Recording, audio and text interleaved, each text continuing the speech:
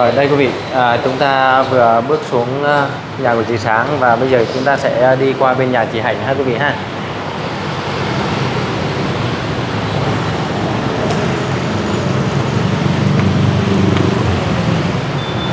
À, bước ra nhà thì lại có đôi hạt mưa quý vị. Vâng, à, kính thưa quý vị thân mến, đây là cái đường Phan Văn Trị ở à, ở phường 5 quận Gò Vấp nha quý vị nha. chỉ nhà kỹ quá À, phường 5 quận Gò Vấp còn đây có nhiều, là có nhiều người người ta nói ờ, đây là cái ngõ hay gì? Ở đây là ngõ hả? Rồi. đây là cái hẻm À, đây hẻm hẻm 497 tại là chỗ chỉ kỹ quá mà không biết sau hôm nay rồi em giới thiệu vậy rồi các anh có tự tìm đến nhà chị hay không tìm á người ta tìm có nhiều anh nói muốn tìm chị nhưng mà không biết tìm đâu À. mà em chỉ gì là trời ơi người ta tìm kỹ lắm đừng nhưng mà tìm chị á trường hợp mà anh nào lên kênh rồi thì mình không nói đúng không ạ? Nhưng mà trường hợp mà các anh mà chưa lên kênh thì chị Hạnh có đón tiếp không? Không. Không đúng không? Chị sợ lắm. Nói chung Sợ. là ờ, có nhiều cái. Dạ. À đây đây đây đây đây đây đây đây xe xe em coi coi xe đây này quý vị. Đây là nhà của chị Hạnh này quý vị. Đấy. Cao nhất xóm luôn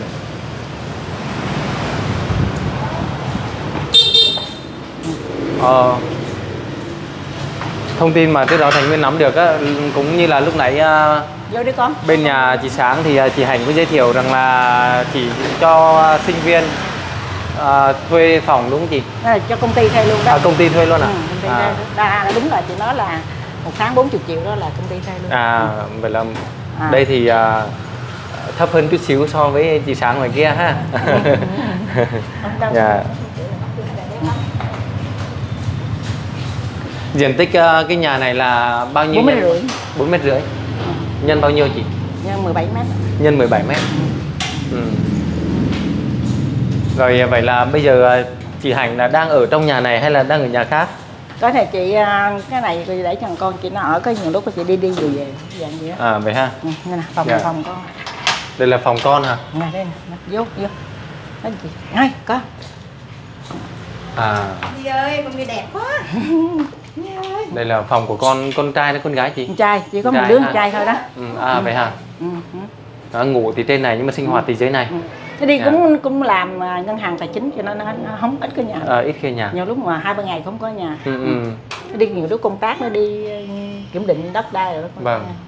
Rồi nhà à, nhà của mình là có tất cả là mấy lầu chị?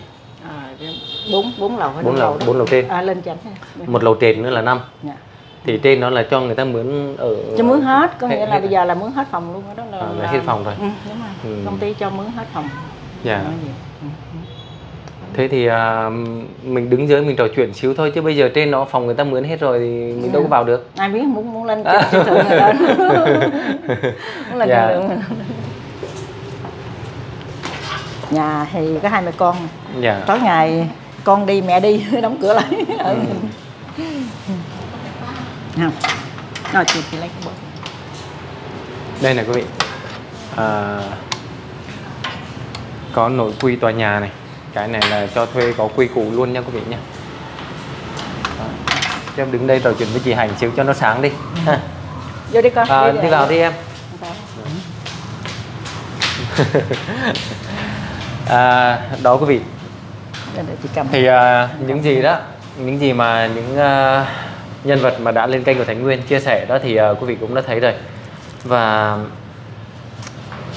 Thành Nguyên biết rằng là ngoài chị sáng ra đó thì có rất là nhiều bất động sản.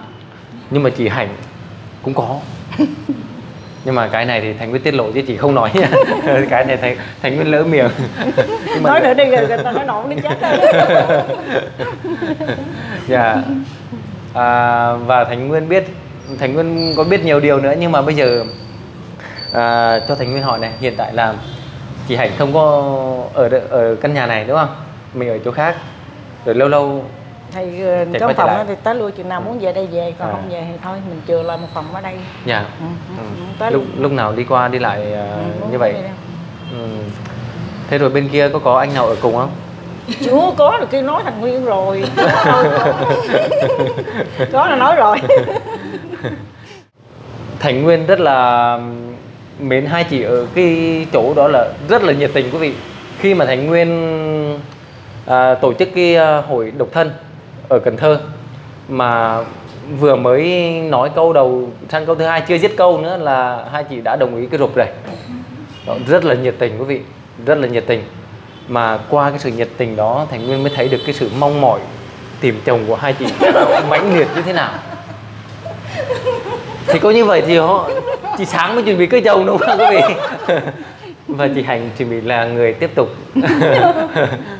Nhưng mà nhiều khi á em nói chị sáng đừng giận anh nhá em nha. Nhiều khi á thông tin thì em nắm được của chị sáng là sớm đó. Nhưng mà biết đâu đó chị hạnh chậm mà cuối cùng lại tổ chức sớm hơn chị không chừng. Chị tin không? Chắc giấu kỹ Ờ, lắm. giấu kỹ. Có đâu có đâu mới tìm hiểu thôi. Dạ. mới tìm hiểu. Đó nhưng mà bây giờ có có đã tìm được anh nào ưng ý chưa? Chưa Nguyên ơi nói chung là chị tìm hiểu thôi chứ. Chị nói cũng như chị hôm trước chị nói nếu mà mình đến với nhau thật sự nói chung khó. Khó. Cái tuổi càng lớn chừng nào càng khó. Dạ. Ừ, cho nên phải tìm một người nó được cái cái thí dụ mình nói được cái mặt này cái nó mất cái mặt khác thí dụ Dạ. gì đó. Ừ. thì nói chung tìm cái hợp rất là khó cho nên Dạ. thử nói chung thì giờ vẫn còn đấy ngày hôm nay quý vị ạ thật sự ra là cái khi mà thành nguyên đi công việc á, thì thành nguyên sẽ ghé qua các anh các chị à, bất chợt thôi thành nguyên cũng không có báo trước à, có báo trước thì cũng một đôi tiếng thôi để à, có gọi nhà không nếu mà ở nhà thành nguyên ghé còn nếu không thì thôi đó thì à, à, hai chị cũng có nói với thành nguyên là cái giờ này thì cũng trễ rồi. Thì ờ, cũng có có một anh ờ, chồng sắp cưới của chị sáng nữa là cũng đã chờ ngoài kia rồi thì là anh em chị em ờ, sẽ ra ngồi một chút xíu. Nhà đó. Nhưng mà mặc dù biết là hai chị cũng khá là đói bụng rồi. Nhiều khi bây giờ ngồi đứng không vững nhưng mà gồng cái gì cũng phải gồng đấy nhiều khi gồng ấy. À, nhưng mà cố gắng chịu khó cho em 5 phút nữa nha. Được nhưng mà đương mà thằng Nguyên đến đến nhà là mừng lắm. Dạ. thật luôn á quý lắm luôn á thiệt. Dạ. Ừ, à, em vẫn à, biết rằng là cái khi mà lên hình đó chị sáng thì thôi bây giờ là chuẩn bị ván đã đóng thuyền rồi thì ông nói nữa rồi. Nhưng mà chị hạnh là bây giờ là cái cơ hội bây giờ chia 50 50 đó. Dạ. Thiệt nhiều khi em nói vui mà em nói thiệt. 50 50 là ở cái chỗ như vậy nữa quý vị. Sau khi mà biết chị Hạnh có một cái cái cơ ngơi như vậy đó thì có thể là nhiều anh sẽ lợi dụng còn cái được của chị á là Thành Nguyên ghi nhận như vậy thì quý vị sẽ biết được cái cuộc sống hiện tại của chị Hạnh là đó là sự thật chứ không phải là mình nói quá nói dóc nha quý vị nha Thành Nguyên cũng nói luôn là cái khi mà à, ai mà đến mà tìm hiểu với các anh các chị mà khi Thành Nguyên đến khảo sát á thì à, à, quý vị cũng đừng có nghĩ rằng là mình đến mà mình có thể lợi dụng được người ta đâu. Bởi vì Thành Nguyên nói nhỏ bây giờ cho em ra ra đây cho em cho em nói riêng. Em lúc nào cũng nói nhỏ nhỏ. À. rồi kìa kìa kìa quý vị ạ cái gì đó? Gì? Không nghe. Không chị cũng nghe đúng không? Thành nguyên nói thiệt nha. Chị hạnh sống đến từng này tuổi á. Đầu chứ chị gì á, không cho nó nghe kỹ. có ba màu tóc rồi. Đầu có sạn rồi quý vị không có dễ lừa đâu. Cho nên khi mà đến với chị á không lừa được đâu. Cố gắng thật lòng thì may ra. Nguyên nếu mà em nói người ta lợi dụng thì là nhiều, nhiều người ta sợ người ta không dám mà đến Không. em phải nói rõ Em mới nói với chị Ừ, này. em nói rõ bởi vậy chị sáng công nhận với em là Ừ. khi mà em cập nhật như vậy mình sẽ có cái được và có cái mất Ừ. nhưng thả ít mà nó chất lượng Ừ. chứ bây giờ chỉ tiếp trăm người mà không được người nào chị, chị sáng công nhận với em không thà một hai người đến với mình mà người ta thật lòng quý vị thì nó vẫn hơn thà em nói như vậy ai có ý đồ xấu người ta bỏ Ừ, chứ tự dưng đến Đúng làm rồi. mình mất thời gian ý đồ xấu đến cũng không được đâu bảo đảm mình cũng phải nhìn mình biết đúng Dạ. không cho nên thử ờ, chỉ mong người nào thật lòng Dạ. chứ thật ra giống như chị chứ không phải chị đòi hỏi người đó cho nên kinh chị cũng nói chị không phải chị đòi hỏi người đó giàu có không phải đâu Dạ. Ừ, nhưng mà phải nói là hợp là được Ừ, làm gì Ừ. ý là người đó phải có cái tâm biết chia sẻ này kia nọ là Ừ. thích. Ừ. Hoặc Chứ bây giờ nhiều to- người người ta cứ nói là mình lên kinh người ta nghĩ là mình ấy dạng à, như vậy chứ mình chiều cao thế này thế kia mình đưa này ra cái cái điều kiện mình có gì để mình lấy Việt kiều. Nói chung là chị nói thật là Việt kiều có có nhiều anh cách nói nhiều lắm nhưng mà hầu như chị biết không. Chị tại không- vì nó có nhiều cái vấn đề nói thật luôn là tại vì nếu mà rước chị vào bệnh này cái lửa tuổi như vậy chị không thể nào chị đi nữa được Ừ. chị không đi có thật sự sự thật luôn ha còn ảnh về đây thì nói chung là ảnh đi nửa tháng nửa năm ảnh qua 6 tháng một lần thấy không rồi ảnh về bệnh thì thôi mình lấy ảnh làm gì Dạ. trong cuộc đời mình giờ á mình lớn tuổi đó là mình tìm một người lúc nào cũng ở bên mình để Dạ. mà giống như chăm sóc cho nhau vậy đó Dạ. đó là Chia sẻ những niềm ừ, vui ừ, đúng đúng chị? đó là chị ứng nguyện gì vậy thôi chứ không phải là nói là à, lên để mình khe mình vào để mấy anh Việt kiều tới mình không có. Đừng nghĩ vậy cũng Dạ. mong cho giống như cộng đồng mạng cũng đừng nghĩ như vậy. Mỗi người mỗi khác chị không biết ha. Chứ nhưng- mà riêng chị là chị không nghĩ gì đâu. Ừ, thì chị đã lên kênh thành nguyên thành nguyên biết rồi thành nguyên cũng kết nối có nhiều anh Việt kiều cho chị đúng không? Nhưng mà hầu như là nó như vậy. Dạ. Ừ, hôm nay nói thật lòng như Dạ. vậy. Chỉ mong cộng đồng mạng hiểu được vậy thôi. Ừ. nó là cái gì. Chị sáng đó quý vị Bình nói sao ta? Van kia bây giờ đóng thuyền rồi có còn chị đâu nữa. Thôi đành hẹn trong mơ. Còn chị hạnh á thì bây giờ cho thành nguyên hỏi này. À, thành nguyên sở các anh ở trên kênh của thành nguyên. À, đã lên hình rồi cũng như là chuẩn bị lên ghi hình đó nhiều khi người ta muốn kết nối với chị mà người ta đang ngại đó thì không biết là đối với điều kiện của chị là như vậy rồi nhưng mà điều kiện của các anh á, thì nhiều khi mà mà có thua kém chị nhiều phần đi nữa thì mà người ta có tâm tốt thì mình có sẵn lòng không? Ở Sáng Long mà. Sẵn lòng đúng chị không? nói họ cái Ừ. clip trước luôn mà. Ừ. chị chị nói rồi chỉ cần giống như không phải là mình nói anh nó phải ừ, đi làm. Chứ nếu mà về nhà ở thì giữa hai vợ chồng cái tối ngày trong nhà hoài thì cũng đâu có nói chung là cũng buồn đúng không? Thì anh có công việc gì anh làm hơi hơi thì cũng được rồi. Dạ. ừ. chứ đừng có nghĩ là giống như chị đòi cái điều kiện giống như chị hay hơn chị không có đâu. Đừng nghĩ vậy. Chị nói thật tình. Ừ, đó. Cho, cho nên nhiều người ta cứ nghĩ vậy. Đó là như quan niệm họ sai Dạ. không có chị đâu ừ. đó nha quý vị nha. Thành nguyên đã mở lối cho các anh rồi đó. Đã mở lối rồi đó. Các anh mạnh dạn lên. Đó nhưng mà thành nguyên nói trước. Ngay từ đầu khi mình đến á có sao thì mình nói vậy. Đúng rồi đúng rồi. Đừng cái đó quan trọng lắm nguyên. Quan trọng lắm. Cái đó nó quan trọng lắm quý nó vị quan trọng cho nguyên luôn đó. Dạ. nhiều lúc người nói lên kinh đó thấy toàn xào xào không thành ra. Dạ, đúng, đó. đúng rồi quan trọng lắm. Chứ lên đây á mình đừng có nói quá làm gì. Có sao kể cả mình có bán vé số mình đi xe ôm hay là cái gì gì đó mình cứ nói. Bởi vì á chỉ cần người ta thấy cái nét thật lòng của mình người ta thấy cái nét dễ thương của mình là người ta đã chịu rồi.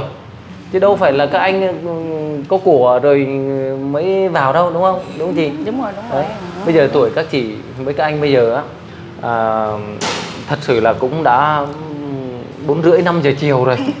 Nha thật mà. Mà giờ đang nhiều tranh thủ lắm luôn đó đeo không kim dạ nên là các chị á, thì các chị lên hình lâu rồi. Mà các anh mà bây giờ đang còn ở nhà mà đang rung đùi xin số thì biết nói sao? Đóng cửa lại. Bước đi thật nhanh. Nhanh còn kịp. Nha quý vị nhá. Đó, thì thành nguyên chỉ nói đến đó thôi. Thật sự ra thì thành nguyên vẫn biết là vạn sự là tùy duyên. Đó, nhưng mà mình mà không đi thì thật sự là không có cách nào đâu quý vị. Cố gắng đi đi nhanh thì cái cơ hội mình nó còn ờ, nhiều quý vị. Còn mà mình đi trễ đó thì thời gian nó đâu có chờ đợi mình đâu. Mình đâu biết là ngày mai ngày mốt hay là qua tháng này qua năm nọ sức khỏe của mình dung nhan của mình nó có còn đứng như xưa. Đấy cho nên là tranh thủ đi. Khi mà đang ờ, vớt vát được cái thời gian còn lại ha chị ha. Đúng rồi đúng Dạ. rồi. Rồi thì um, vẫn là cái câu hỏi thường lệ à, chị Hạnh có có cái điều gì đó muốn nhắn gửi à, tới cho các anh vài điều trước khi Thành Nguyên tạm dừng cái video này tại đây ạ? Thì à, nói chung là hôm nay cũng có duyên được à, vợ chồng Thành Nguyên đến đây. Ừ. Thì cũng có đôi lời nhắn với mấy anh. Nếu mà mấy anh nào cũng độc thân á mà muốn bước thêm bước nữa mình muốn tìm một người thì mình cứ mạnh dạn lên kinh để tìm. Chứ còn nếu mà thật tình mà nói giống như hạnh đây mà mấy anh mà xin số với hạnh cũng không dám cho là tại vì hạnh sợ giống như là biết mấy anh đó có độc thân hay không đúng Dạ. không rồi mình cho rồi buổi vợ anh biết này kia nọ rồi không khác nào mình phá vỡ hạnh phúc của người ta cho nên thử nói với anh như vậy đó nếu muốn muốn tìm một người nào thật ha, người thật việc thật thì cứ lên kênh thành nguyên đi mình tìm hiểu nhau à, thì nó rõ ràng hơn thì nói chung là nó dễ hơn đó, Dạ. mấy anh như vậy thôi Dạ. Lên kênh Thành Nguyên á, Thành Nguyên Dạ. cũng nói rất là nhiều rồi. Ừ. À, các anh muốn kết nối hay là các chị muốn kết nối với một ai đó trên kênh Thành Nguyên thì Ừ. phải đưa những cái giấy tờ liên quan. Ví dụ như là ừ, mình đang độc thân thì phải có giấy chứng nhận độc thân hoặc là ly dị ờ, vợ hoặc chồng thì mình phải có giấy ly hôn.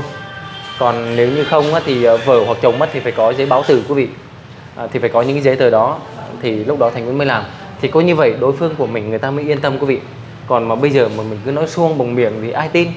À, và chị Hạnh cũng có chia sẻ rồi khi mà ngày hôm nay đó cái địa chỉ thì Thành Nguyên cũng đã quay lên. Mà quý vị mà chưa lên ghi hình mà đến tìm chị Hạnh cái tại cái địa chỉ này thì chắc chị cũng sợ muốn chết.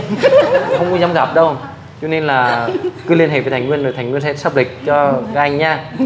Rồi cảm ơn uh, chị Hạnh rất là nhiều đã có buổi trò chuyện với Thành Nguyên ngày hôm nay. Cảm ơn chị Sáng rồi bây giờ bắt tay hai chị Rồi, đấy chúc cảm ơn hai chị nhiều thật là nhiều ơn sức khỏe nha. dạ. Dạ. rồi còn bây giờ thì Thành Nguyên chị Sáng và chị Hạnh phải nói lời chào tạm biệt quý vị và chúc Dạ. cho tất cả quý vị thật là nhiều sức khỏe và thành công. À, nha quý vị nha. Dạ. tạm biệt quý vị. Dạ chào Dạ.